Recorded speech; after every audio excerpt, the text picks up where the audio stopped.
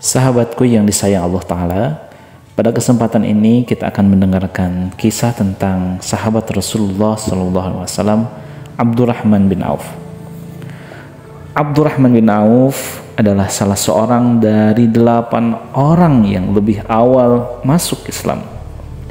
Abu Bakar datang kepadanya menyampaikan Islam, termasuk kepada Utsman bin Affan, Al-Zubair bin Al-Awwam, Talha bin Ubaidullah dan Sa'ad bin Abu Waqqas. Tidak ada persoalan yang tertutup bagi mereka dan tiada keraguan yang menjadi penghalang. Bahkan mereka segera pergi bersama Abu Bakar As-Siddiq menemui Rasulullah Sallallahu Alaihi Wasallam untuk menyatakan bayat dan memikul bendera Islam.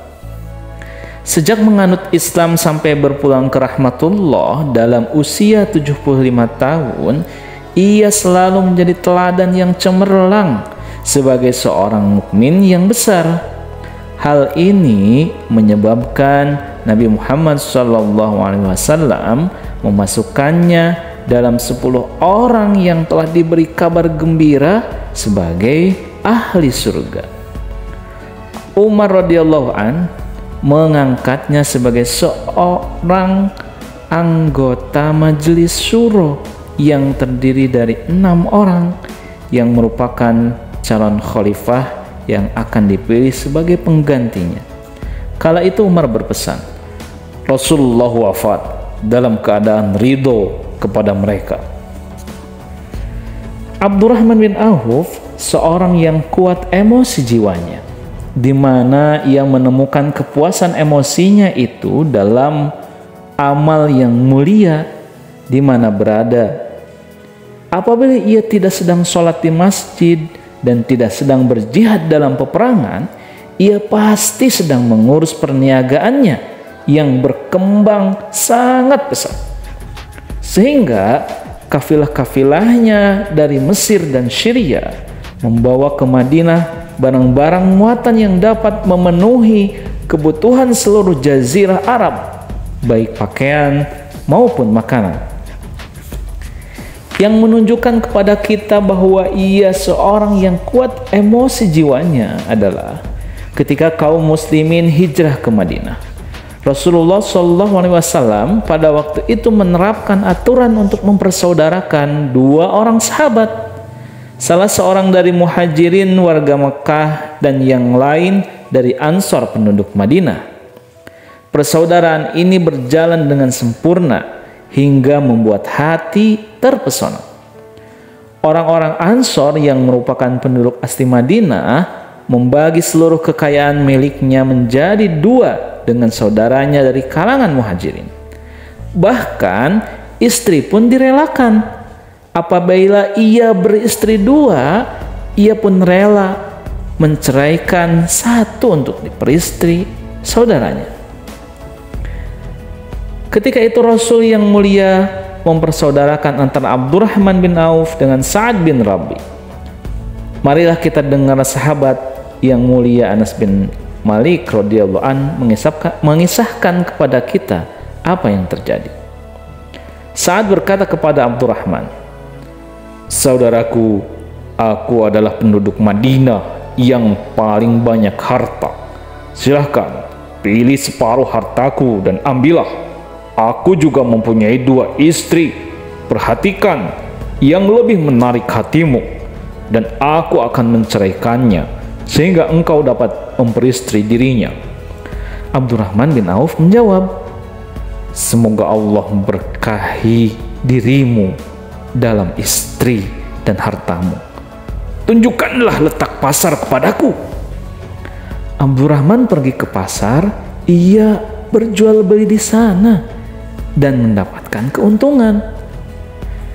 Kehidupan Abdurrahman bin Auf di Madinah baik semasa Rasulullah SAW maupun sepeninggal beliau selalu ditunaikan dengan sempurna untuk memenuhi hak dan beramal di dunia perniagaannya sukses dan menguntungkan seperti diungkapkannya sendiri bahwa seandainya ia mengangkat batu dari tempatnya ia pasti mendapatkan mendapatkan emas dan perak di bawahnya.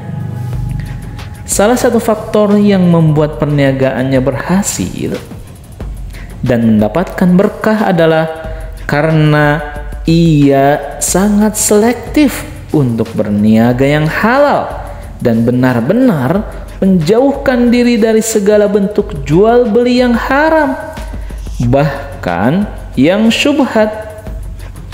Sahabat yang disayang Allah selain itu Abdurrahman bin Auf pun yang menjadikan faktor yang menambah kejayaan dan keberkahannya adalah labanya atau keuntungannya yang bukan untuk Abdurrahman sendiri melainkan di dalamnya terdapat bagian Allah yang ia penuhi dengan sangat baik ia menggunakan hartanya untuk memperkokoh hubungan kekeluargaan dan mengeratkan tali persaudaraan serta menyediakan perlengkapan yang diperlukan tentara Islam.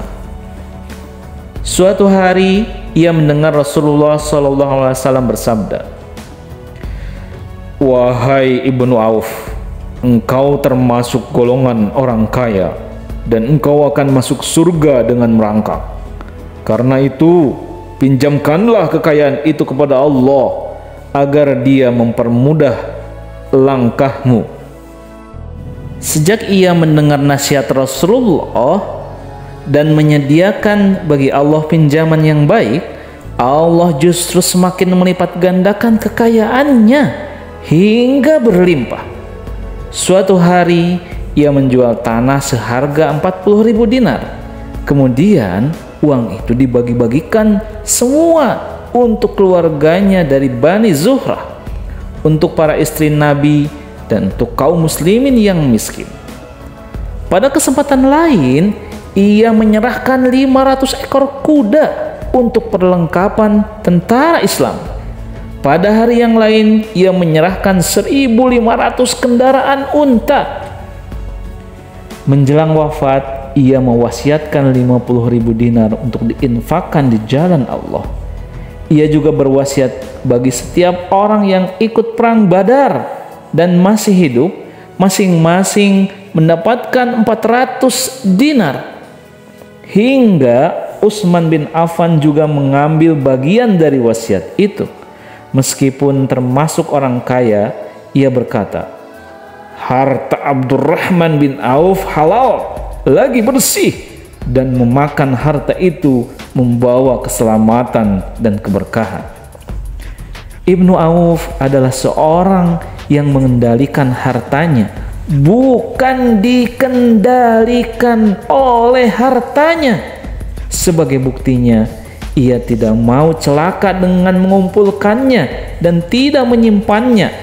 Bahkan, ia mengumpulkannya dengan tetap merendahkan hati dan dari jalan yang halal. Kemudian, harta itu tidak ia nikmati untuk kepentingan sendiri melainkan untuk dinikmati bersama keluarga, kerabat, rekan-rekan, dan masyarakat seluruhnya. Dikisahkan suatu hari dihidangkan kepadanya makanan untuk berbuka. Karena waktu itu ia sedang berpuasa. Ketika pandangannya tertuju pada hidangan tersebut, selera makannya pun bangkit. Namun, ia justru menangis sambil berkata, Mus'ab bin Umair telah gugur sebagai syahid dan ia jauh lebih baik daripada aku. Ia hanya mendapat kafan sehelai kain yang jika ditutupkan ke kepalanya maka kelihatan kakinya dan jika ditutupkan kedua kakinya terbuka kepalanya. Demikian pun Hamzah yang jauh lebih baik daripada aku ia pun gugur syahid dan saat akan dikuburkan hanya mendapatkan sehelai selendang. Dunia telah dihamparkan kepada kami seluas-luasnya dan hasil sebanyak-banyaknya telah diberikan kepada kami. Sungguh kami khawatir bila pahala kebaikan kami telah disegerakan balasannya di dunia. Pada peristiwa lain, sebagian sahabatnya berkumpul bersamanya menghadapi jamuan makanan di rumahnya. Tidak lama setelah makanan diletakkan di hadapan mereka, Abdurrahman menangis sehingga rekan-rekan bertanya, "Apa yang membuatmu menangis, wahai Abu Muhammad?" Ia pun menjawab, "Rasulullah Shallallahu alaihi wasallam telah wafat dan semasa hidupnya beliau beserta keluarganya tidak pernah merasakan kenyang makan roti gandum." Apa harapan kita apabila dipanjangkan usia tetapi tidak menambah kebaikan bagi kita? Demikianlah kekayaannya yang melimpah itu sedikit pun tidak membangkitkan kesombongan dan takabur dalam dirinya. Bahkan orang-orang mengatakan tentang dirinya seandainya seorang asing yang belum pernah mengenalnya kebetulan melihatnya sedang duduk bersama budak-budaknya, niscaya ia tidak bisa membedakan di antara mereka. Sahabat yang disayang Allah Subhanahu wa taala, itulah orang yang bernama Abdurrahman bin Auf. Semoga Allah ridho kepadanya dan ia pun ridho kepada Allah. Teman-teman, mari kita bersalawat kepada Nabi Muhammad.